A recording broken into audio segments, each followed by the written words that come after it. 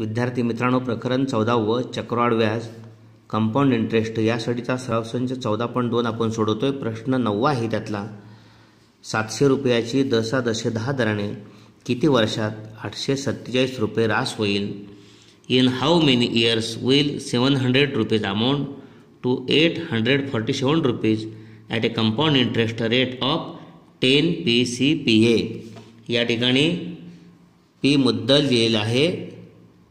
मुद्दल पी बरोबर या ठिकाणी सातशे रुपये दिलेला आहे. रास दिले ए रास अमाऊंट दिलेली आहे या ठिकाणी आठशे सत्तेचाळीस रुपये. P principal is given seven hundred and amount is given eight hundred forty seven rate of interest R दिलेला आहे. दसा दसे. दसा दसे दहा टक्के दिलेला आहे. Ten percent P C P A या ठिकाणी यन हा कालावधी आहे. यन हा कालावधी. आणि आपल्याला किती वर्षात म्हणजे तो काढायचा आहे. सूत्र आपल्याकडे आहे. ए बरोबर पी कंसात एक अधिक आर भागिले शंभर कंसाचा यन. या ठिकाणी ए दिलेला आहे आठशे सत्तेचाळीस. पी दिलेला आहे सातशे. एक अधिक आर दिलेला आहे दहा छेद शंभर कंसाचा यन. आठशे सत्तेचाळीस. बरोबर? म्हणून चिन्ह करायचे विसरायचं नाही पाठीमागं. बरोबर चिन्ह आहे या समीकरणामध्ये. म्हणून डबल बरोबर नको म्हणून सुरुवातला म्हणून आणि हे उदाहरणातलं बरोबर चिन्ह आहे ते आवश्यक आहेच सातशे आठशे सत्तेचाळीस बरोबर सातशे छेद सारखा नाही.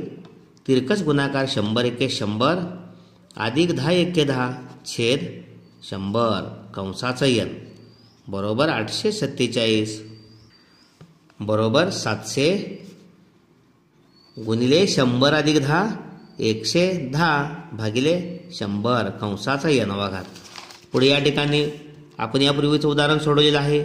गुणिले शंभर आहे. एकशे दहा छेद शंभर कंसाचा यनवा घात. याला गुणिले सातशे आहे तो. आठशे सत्तेचाळीसला भागिले घ्यायचा. याचा पण खास उद्देश आहे. आठशे सत्तेचाळीस छेद सातशे.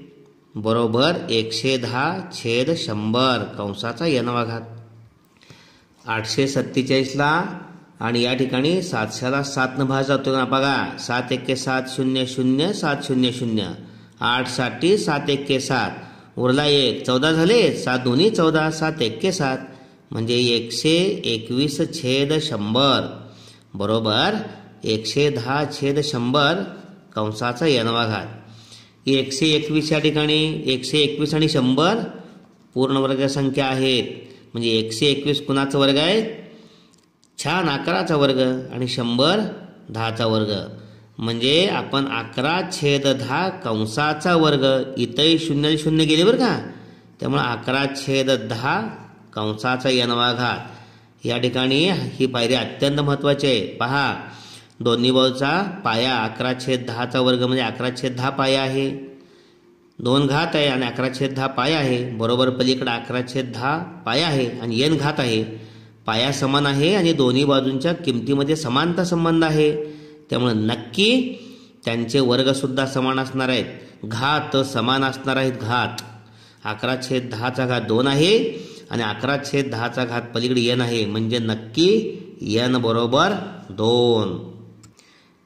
यांची किंमत दोन वर्षे आलेली आहे. म्हणजे कालावधी दोन वर्षे.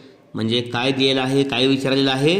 सातशे रुपयाचे दशादशे दहा दराने किती वर्षात आठशे सत्तेचाळीस रुपये रास होईल? तर दोन वर्षात आठशे सत्तेचाळीस रुपये रास होईल. Required duration is two years okay हेही उदाहरण आपणास विद्यार्थी मित्रांनो नक्की समजलं असेल.